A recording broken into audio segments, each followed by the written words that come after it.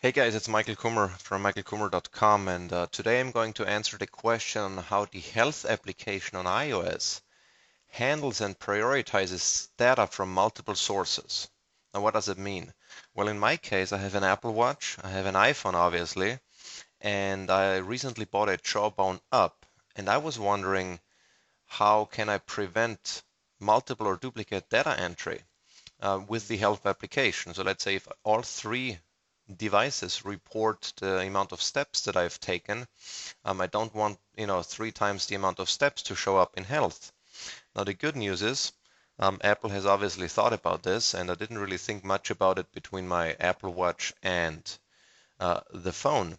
However, when I bought the Jawbone Up, uh, I was wondering if uh, if health would report, uh, you know, duplicate entry. Now the good news is it doesn't.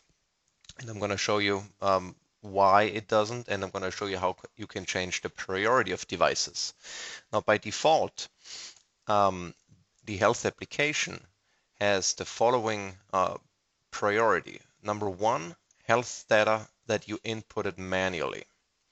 Uh, that overrides everything else, basically. Number two, data from your iPhone, your iPod Touch, uh, and Apple Watch. And between the iPhone and the Apple Watch, the Apple Watch typically wins. So as you can see here on the screen, um, it shows my two devices, the Apple Watch and the iPhone, and then it shows up there on the apps, uh, the Jawbone Up application. And then number three, uh, data from other third-party apps and Bluetooth devices, and that's uh, where the, the Up application would fall into. Now, what you can do is you can go into health data,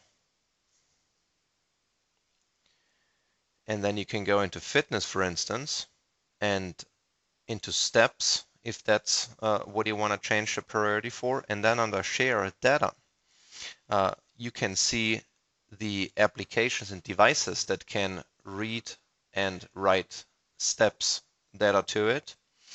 Um, and as you can see, there is a, uh, a list and it says Apple Watch, the iPhone, and then deactivated right now is up since I'm not going to be using up to uh, report steps.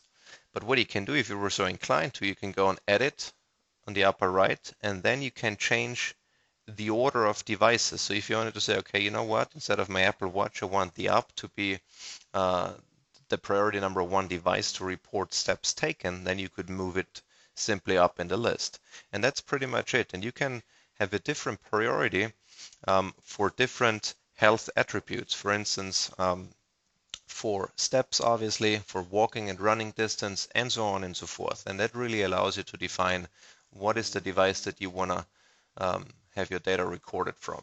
And that's pretty much it. Fairly simple. Um, there is an Apple knowledge base article as well. I'm going to post it uh, down in the description if you were so inclined to read uh, more information about this. Um, and I hope you found this information helpful and uh, have a good rest of the day and stay fit, guys.